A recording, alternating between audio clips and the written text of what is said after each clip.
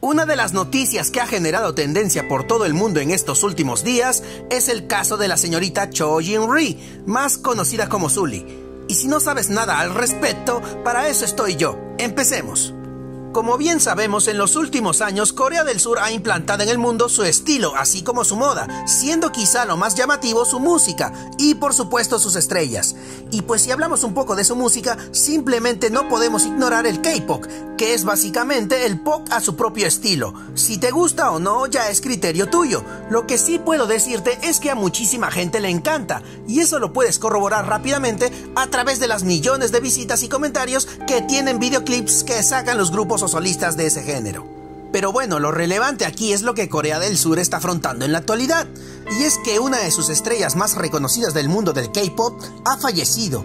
Las noticias de los medios nos dicen que el cuerpo de la cantante coreana de tan solo 25 años fue hallado sin vida por su agente o representante en su casa, en la provincia de Seonnam, al sur de Seúl, este lunes 14 de octubre a las 3 y 20 de la tarde, según hora local y pues la policía deduce que se haya tratado de un suicidio. Me estoy refiriendo a un ahorcamiento, ya que no encontraron indicios de que alguien haya irrumpido a su domicilio a cometer el crimen.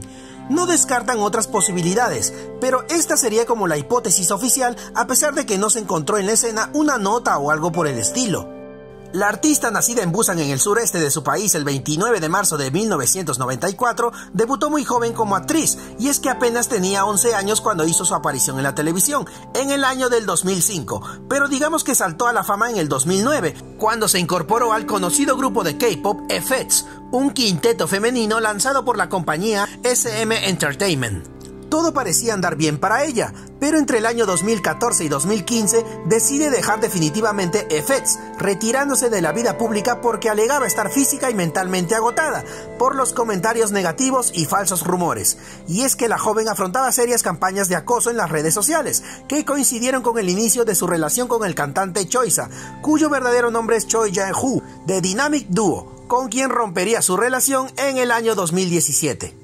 Bueno, a pesar de eso, Sully continuó trabajando esporádicamente como actriz en películas como la de superhéroes Real en el 2017, o más recientemente en series televisivas como Hotel de Luna. Incluso este verano había lanzado su primer sencillo de nombre Goblin. La cosa es que su relación sentimental no fue la única polémica que experimentó. Aun cuando Sully tenía una popularidad tremenda y millones de seguidores por su carácter desenvuelto e independiente, sus escándalos se hicieron más grandes el 2016, cuando estuvo envuelta en el siguiente caso.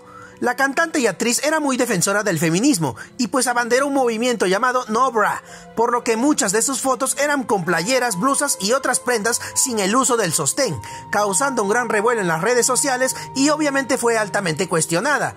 Muchísimas personas la tildaban de pervertida, lujuriosa, desvergonzada, inmoral y muchos otros adjetivos que te puedes imaginar. Y pues era de esperarse, porque Corea del Sur a comparación de otras naciones es muy conservador. Ella decía que decidió seguir luciendo así por tema de comodidad personal y también para terminar de una vez por todas con el prejuicio que hay en su país sobre la alta conservación hacia las mujeres, aduciendo que pueden usar o no sostén según a lo que les parezca. De hecho, el pasado verano empezó a copresentar para el canal por cable JTBC un programa enfocado precisamente sobre el ciberacoso que sufren los artistas de ese país. En el programa, Zully hablaba muchas veces de las recientes campañas de odio que encaraba por el no uso de sostén. Y bien, Tal parecía que su participación en ese programa llegaba a reducir la crítica y presión de la muchedumbre, pero se volteó la tortilla el mes pasado, cuando mostró por accidente los pechos durante una transmisión en vivo de Instagram, mientras se maquillaba.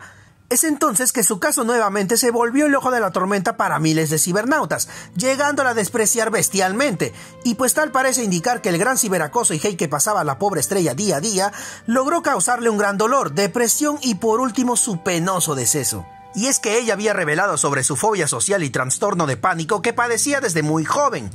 En sí lo podíamos verificar a través de su cuenta Instagram, donde se hallaban muchas de sus historias llorando y replicando que no era una mala persona. Aquí entramos a lo que pienso.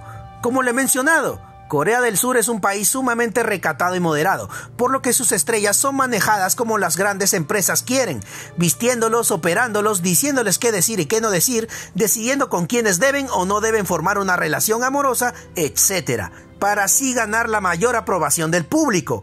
Y pues para mí eso no está bien, ya que muchos de ellos se sienten explotados en sus mejores años de vida y lamentan no vivirla realmente, generando todo eso una gran depresión.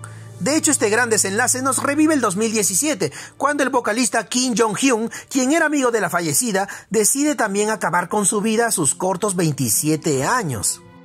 Bueno, Sully aparentemente era ella misma, no seguía la manada por simple adaptación de la mayoría, era una libre pensadora y con respecto a la gente. Yo no creo que la crítica sea mala en realidad, eso te ayuda a hallar aspectos que debes mejorar, pero considero que debe hacerse de una manera constructiva y educada. Y no hablo a ser un fofo aburrido. Puedes reírte de algunas situaciones poco placenteras que pasan las personas y hasta quizá hacerles memes, pero no pasarte de esa línea insultando deseando la muerte. Creo en la libertad de expresión, pero hay muchísima gente que no modera lo que dice y afirma seguir siempre lo políticamente correcto. El chiste es que eso se lo va a tener que creer cada uno nada más.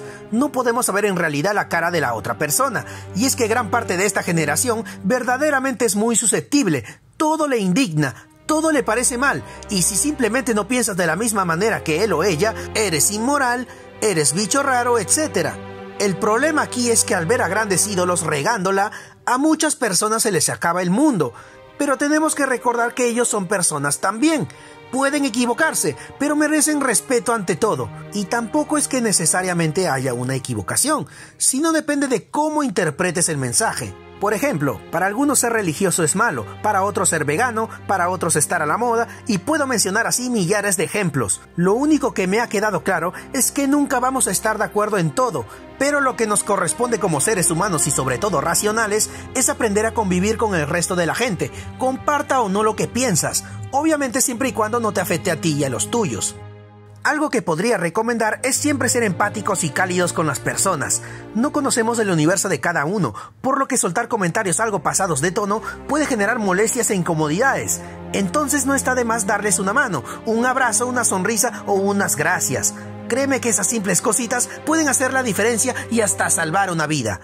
Y bien, eso ha sido todo, espero que te haya gustado, no olvides suscribirte a mi canal, activar la campanita para futuros videos y todo lo demás. Los quiero un chorro muchachos, hasta la próxima.